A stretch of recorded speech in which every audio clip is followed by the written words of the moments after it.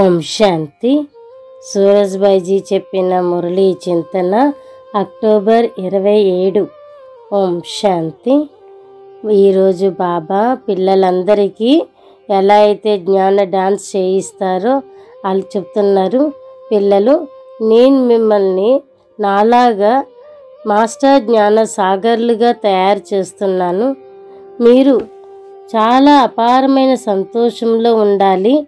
స్వయం భగవంతుని యొక్క పిల్లలము అతనికి వారసులుగా అయ్యాము. అహోహో స్వర్గానికే యజమానులుగా అవుతున్నాము. భగవత్ భగవాన్ భగవతిగా అవుతున్నాము. భాగ్య నక్షత్రాలుగా అవుతున్నాము.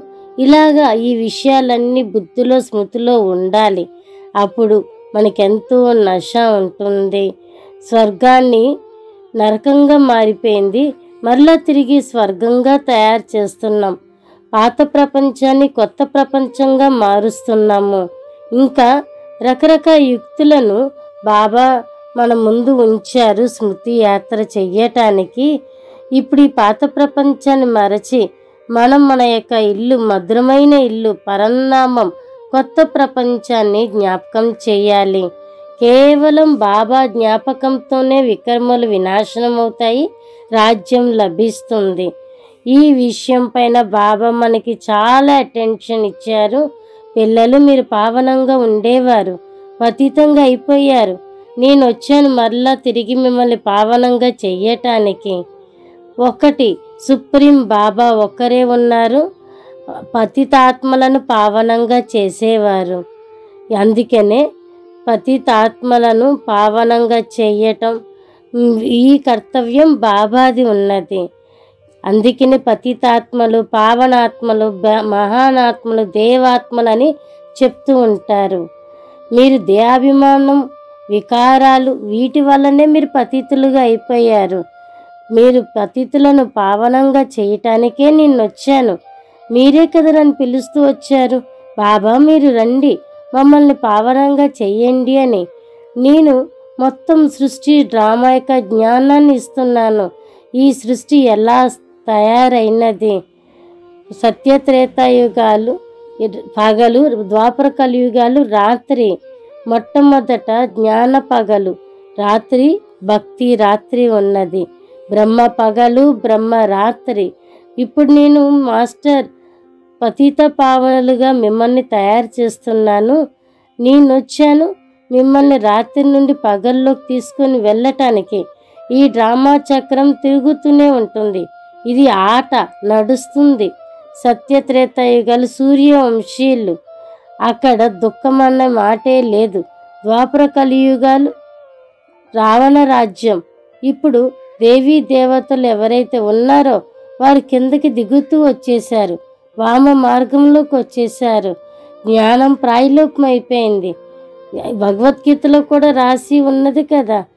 నిరాకార్ పరంపిత శివ పరమాత్మ తప్ప ఎవరు కూడా తిరిగి ఇంటికి తీసుకుని వెళ్ళలేరు. బాబా ఒక్కరే గైడ్ ఉన్నారు లిబరేటర్ ఉన్నారు. బాబా లిబరేటర్ మనకి ముక్తి జీవన్ముక్తి యొక్క మార్గాన్ని చూపిస్తున్నారు. బాబా అంటున్నారు పిల్లలు నేను మీకు పరంధామం యొక్క మార్గాన్ని చూపించాను. సన్యాసులకైతే పరంధామం గురించి తెలియదు ఆత్మ పరమాత్మ జ్ఞానం కూడా పూర్తిగా తెలియదు.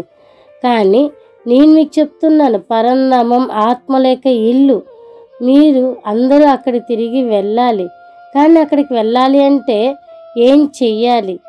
అన్ని విషయాలతో లిబరేట్ అవ్వాలి. ముక్తులుగా కావాలి. వైరాగ్యాన్ని కలిగిస్తున్నాను. కాబట్టి మీరు నా శ్రీమతంపై నడవండి. పావనంగా అవ్వండి. ఇది చాలా పెద్ద లాటరీ మీకు లభించినది. మీకు ఆత్మ యొక్క జ్ఞానాన్ని సైగ కూడా చేశాను. సూక్ష్మమైన విషయం. అది చూడటానికి కనిపించేది కాదు. భక్తులు ఎంతో ప్రయాసపడుతూ ఉంటారు. ఆత్మజ్ఞానం పరమాత్మ గురించి తెలుసుకోవాలని. వాళ్ళకి అసలు తెలియనే తెలియదు. చూడనే చూడలేరు. సూక్ష్మాతి సూక్ష్మమైనది. ఆత్మే ఎనభై నాలుగు జన్మలు తీసుకుంటూ పాత్ర వహిస్తూ వచ్చింది. మనుషులకైతే ఈ జ్ఞానం అనేది లేదు. వాళ్ళకి ప్రాక్టికల్గా ఏ విషయాల గురించి తెలియదు. ఇది నిజం. అందుకనే బాబా వచ్చి మనకి క్లియర్గా అన్ని విషయాల్ని ఆత్మ బ్రుకటి మధ్యలో ఉంటుంది. బాబా అంటున్నారు నేను కూడా ఈ బ్రహ్మ తనువులో వచ్చి బ్రుకటి స్థానంలో ప్రవేశిస్తాను అని అంటున్నారు. అదే అతని యొక్క ఆసనం ఉన్నది. ఇది కూడా చెప్తున్నారు. మీరు ఎలా అయితే స్టూడెంట్స్ నేను కూడా స్టూడెంట్ని అని బ్రహ్మ బాబా అంటున్నారు. నేను అదంతా బాబాకి ట్రాన్స్ఫర్ చేశాను. మీరు మీకు ఎవరు గుర్తొస్తుంది అప్పుడు? పిల్లలు మీరంతా కూడా బాబాకి తనువు మనసు ధనం అన్నిటినీ బాబాకి సమర్పించారనుకోండి మీ బుద్ధిలో ఎవరుంటారు? అలా మీరు బాబాని ఫాలో చేయండి. ఎంతైతే బాబా జ్ఞాపకం చేస్తూ ఉంటారో చదువు చదువుకుంటారో అంత మీకు ఉన్నతమైన పదవి లభిస్తుంది. ఈ విషయం బాబా రోజు చెప్తూనే ఉన్నారు. పిల్లలు పురుషార్థం చెయ్యండి అప్పుడే అదృష్టం తయారవుతుంది. నేను పురుషార్థం చేయిస్తాను. మీరు చేయాల్సింది. కాబట్టి దాంతోనే తయా అదృష్టం తయారవుతుంది. నేనేమి అదృష్టాన్ని తయారు చేయమని చెప్ప చేయను కదా. నేను మీతోనే చేయిస్తాను అన్ని కార్యక్రమాలు. కాబట్టి యుక్తులు చెప్తూ ఉన్నాను. మనం ఈ శరీరాన్ని వదిలి పరందమ్మనికి వెళ్తాము. ఇప్పుడు ఇంటికి వెళ్ళేది ఉన్నది. అందుకనే బాబాని జ్ఞాపకం చేయాలి. బాబా మనకి జ్ఞానం యొక్క మూడవ నేత్రాన్ని ఇచ్చారు. దీంతో మనం ఎంతో ఉన్నతంగా అవుతున్నాము. రకరకాల పదవులు మనకి ఎదురుగా ఉన్నాయి. యుక్తులు కూడా ఎన్నో ఉన్నాయి. కాబట్టి పురుషార్థం చెయ్యాలి జ్ఞానాన్ని యోగాన్ని రెండిటిని తోడు చేసుకొని ఎలా ఈ సృష్టి చక్రంలో తిరుగుతూ ఉన్నాము అనేది చూడాలి. ఇప్పుడు మన యొక్క ఎనభై నాలుగు జన్మల పాత్ర పూర్తయిపోవచ్చినది. ఈ జ్ఞానం ఇంకెవరి దగ్గర లేదు. కాబట్టి మీరందరూ స్వదర్శన చక్రధారీలు మీరు ఇప్పుడు ఇంటికి తిరిగి వెళ్ళేది ఉన్నది పరంనామం అఖండమైన ఉన్నతమైన స్థానం. వరదానం ఉన్నది. బాబా అంటున్నారు పిల్లలు మురళి ద్వారా కారణాన్ని నివారణ చేసి మాయని సమాప్త సమాప్తం చేసే మురళీధరులుగా కండి. మురళీలో అయితే ఎన్నో పవర్ఫుల్ పాయింట్స్ బాబా చెప్తూ ఉంటారు.